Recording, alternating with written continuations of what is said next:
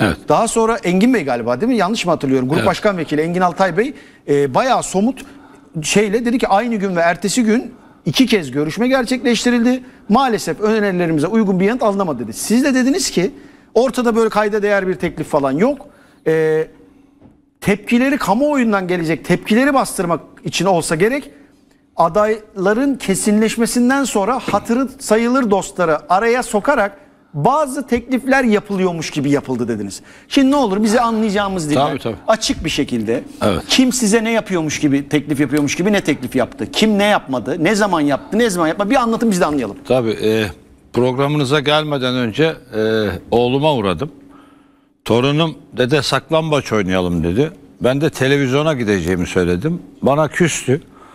Televizyona çıkacağım deyince o zaman dedi madem saklambaç oynamıyorsun bana bir el sallar mısın dedi. Sallayın lütfen. Buyurun hemen. Meriç bak saklambaç oynayamadım ama sana el sallıyorum.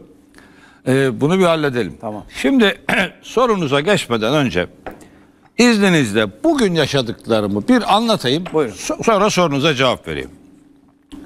Cumhuriyet'in internet sitesi. Ya yazarları öldürülen, 50 yıldır para ödeyip aldığım, okuduğum. Memleket Partisi'nde kurucu üyesi Ali Dursun istifa etti. Amaç seçimleri kaybetmektir dedi.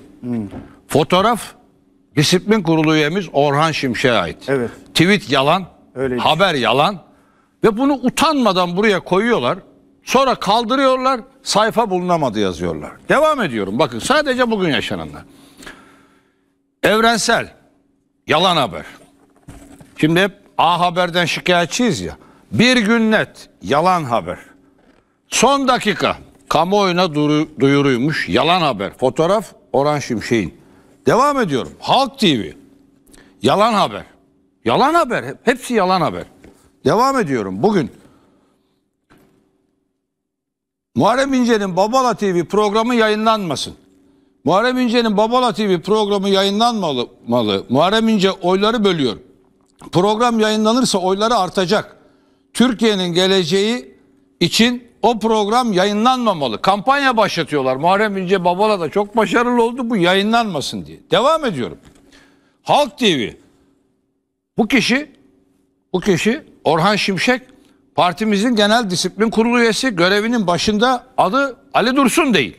Ama orada şöyle bir şey oldu. Şimdi Twitter'da bir hesap sanki Bakın, bu beyefendiymiş gibi sahte bir Hayır hesap. efendim şimdi bu insanlar bunu bu haberi yapmak için teyit etmeleri gerekmez mi? Evet. Memleket Partisi'nin sözcüsünü, genel başkanını, genel sekreterini birini aramaları gerekecek. Dertleri algı operasyonu. Bakın Ama sonra devam ediyor. zaten diyorsunuz. Gerçek gündem.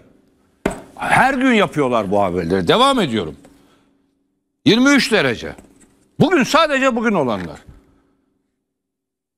Memleket Partisi Genel Başkan Yardımcısı Aziz Aykut Demiray, Aziz Bey dışarıda oturuyor şu anda. Milletvekili adayımız. Devam ediyorum. Parti sözcümüz İpek Özkal Sayan. Partide artık bulunamıyor. Ya parti sözcüsü şu anda dışarıda bekliyor. Memleket Partisi'nin parti sözcüsünün öldüğüyle ilgili haber yaptılar. Öldüğüyle. Mahir Bakan İstanbul Millet e, İzmir Milletvekili adayı Genel Başkan Yardımcısı istifasını yayınlıyorlar. Böyle bir istifa yok. Bu haberleri daha sonra çıkarmadılar mı? Silmediler mi? Si- algıyı yapıyorlar. Sonra sayfaya erişemiyorsun ama haber orada duruyor. Haberin doğru olmadığına dair bir haber yapıldı mı? Yapmıyorlar o haberi de. O haberi yapmıyor. Yani her gün her gün Halk TV'de bu şekilde diğer kanallarda her gün sahtekarca haberler yapılıyor. Yalan. Sürekli algı peşindeler. Yani şeytan taşlamaktan tavaf edemiyoruz. Bir kere bunu bir anlatalım. Türkiye'de medyanın durumunu bir görsünler. Algı yaratmak için yalan yanlış ya geçenlerde Korkmaz Tavukçu diye parti meclisi üyesi İpek Özbey yayın yaptı ya. İstifa etmiş. Partide deprem. Öyle biri yok. Öyle biri yok. Öyle bir kişi yok.